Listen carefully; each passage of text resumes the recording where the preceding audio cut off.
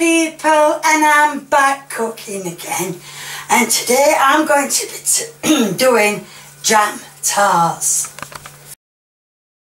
Right, I'm just, because I'm not a big fan of jam tarts in the family, what's left of it, uh, I'm only going to do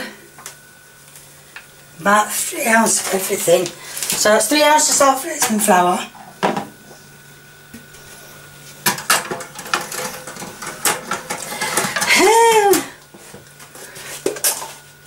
Ounce large. Oh, might be a bit more than three hours there. Get off, get off, get off. Uh, no, not quite. A bit more.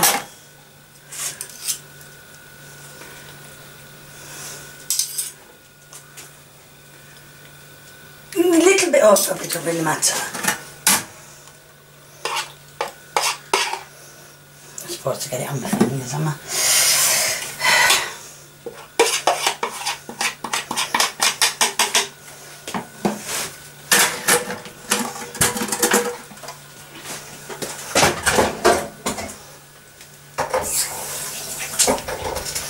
Now I don't know if you can see that but I've put marge and flour in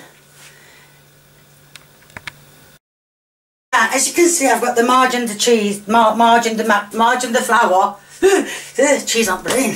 Uh, what I'm going to do is, what I call the disgusting part, is get all the cheese, I keep saying cheese again, getting all the margin the flour to all break up into like final breadcrumbs, which they're starting.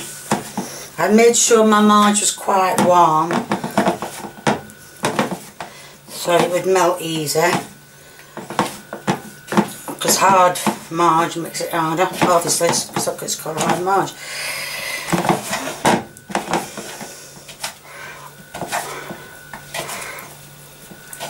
I think I put too much marge and not enough flour not to worry it's all going to get bound together anyway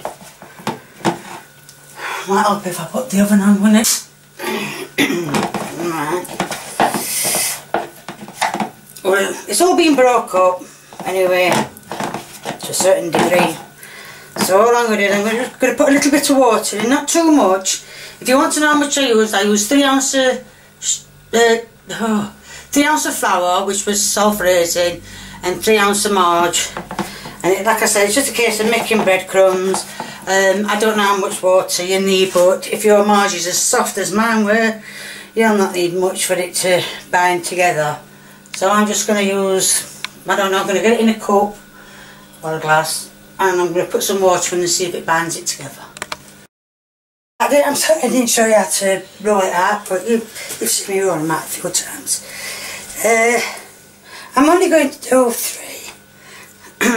three because like I said there's not many well we're not keen on that jam to that. So I'm going to put one in there. I'm going to put one in there. Oh no I'm not because it won't get in. That's it, in I'm going to put one in there. And I'm going to I opened it so I'm going to put half a teaspoon, half a teaspoon of jam in each, more than half that, in each case. And then that'll spread out and make it more jammified. Is that a word, jammified? Well, it is now. Right, now I'm going to put them in the oven and keep an eye on them. I'm going to check them for 10 minutes, every 10 minutes to see if they are done. But I've put the gas, the, electric mark at 200 and I'm going to, like I said, put them in for 10 minutes. Right, I got a message from a friend yesterday saying that um, my t-shirts are being sold in America. So this is just to you in America don't buy them. They're not real. They're not me. mine will be coming out soon, but don't buy any more from that man. He says they're official, they're not. The only official ones will be from me, which I will tell you shortly in this in my camera view, as you can as I am viewing as I am being viewed while I am cooking. And I just want to say to the woman who saw us outside Morrison's and nearly gave me a heart attack, Hi! This is the end product of a jam tart uh, and it's rose, risen up but not too bad. I should have used plain flour instead of SR.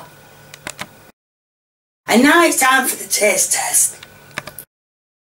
Right, and here's my mum to do a taste test. There you go, mum. Thank you.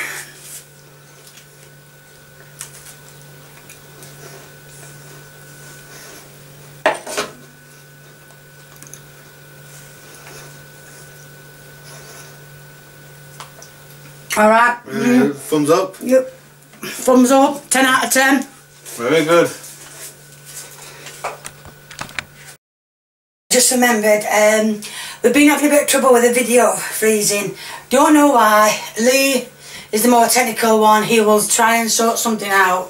If he can't, well, I don't know what we're going to do, but we will have a, well, Lee will have a go and see what he can come up with.